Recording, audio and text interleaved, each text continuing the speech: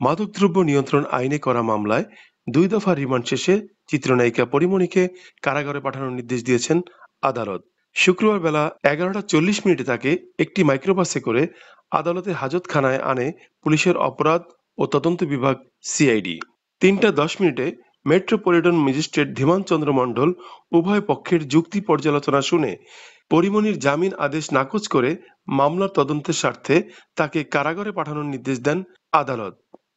পরিমণির পাশাপাশি তার সহযোগী আশরাফুল ইসলাম দীপু, পরিমণির একটি সিনেমার প্রযোজক নজরুল ইসলাম রাজ এবং তার সহযোগী সবুজ আলীকেও একই আদেশ দিয়েছেন বিচারক।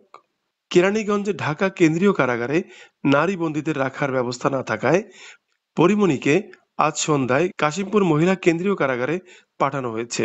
পরে আইনজীবী মজিবুর রহমান পরিমণির ডিভিশন বিষয়ে একটি আবেদন করেন।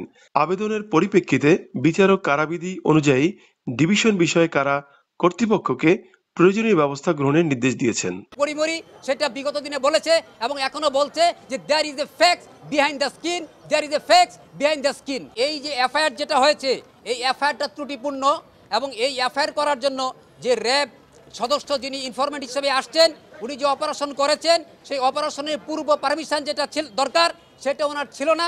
The arms act battalion ordinance nineteen seventy nine এর সিক্স দ্বারা অনুযায়ী উনি সেটা পারেন না এবং এই আসামিকে চব্বিশ ঘণ্টার বেশি তারা অ্যারেস্ট করে স্বীকৃত মতে তাদের কাস্টডিতে রাখতে পারেন না এবং সেটা রাখার পরে তাকে বিজ্ঞ আদালতে সময় মতো প্রডিউস না করে এই যে সময় ফৌজদারি কার্যবিধির একশো দ্বারা একষট্টি দ্বারা বিধান ব্যত্যয় করে তাকে আদালতে নিয়ে এসেছে, এটার পিছনে একটা কারণ ছিল, একটা রহস্য ছিল।